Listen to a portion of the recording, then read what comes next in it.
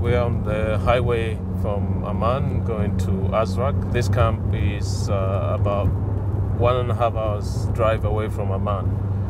And it is planned to accommodate at least 50,000 Syrian refugees in the first phase. And it has a maximum capacity of up to 130,000 refugees.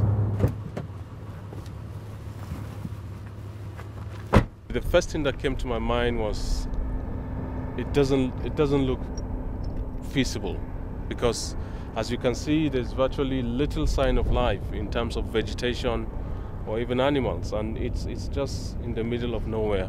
However we've been coming you know over the two months two and a half months and we have seen the place evolve from the red road network now being in place to the facilities we are planning for the septic tanks and water. So it's becoming real.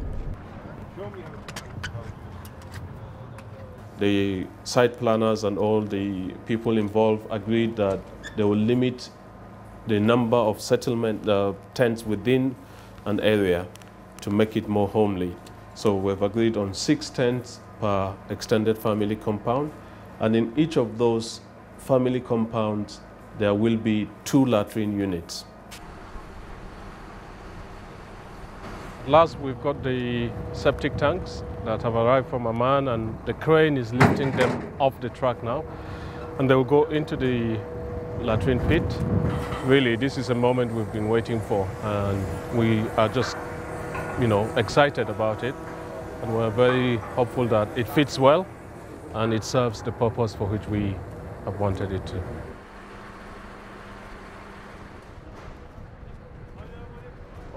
Nearly there, nearly there. We're excited now. We've got our first prototype ready, nearly ready.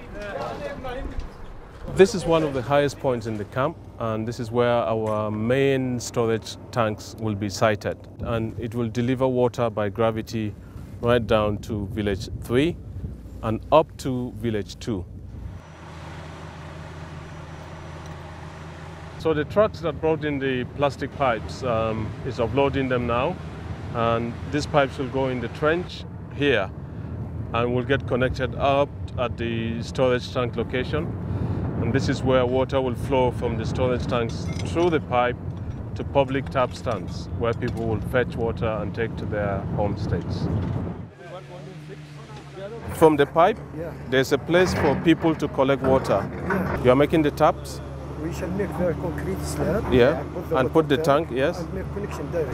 In terms of time span, as you can see, the terrain is harsh.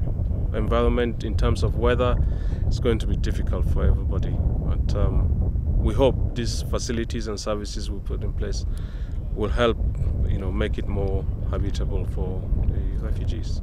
I think that's I think that's probably the crane. Could be the one. lifting the, uh, the yeah. I don't think the HW started with that area.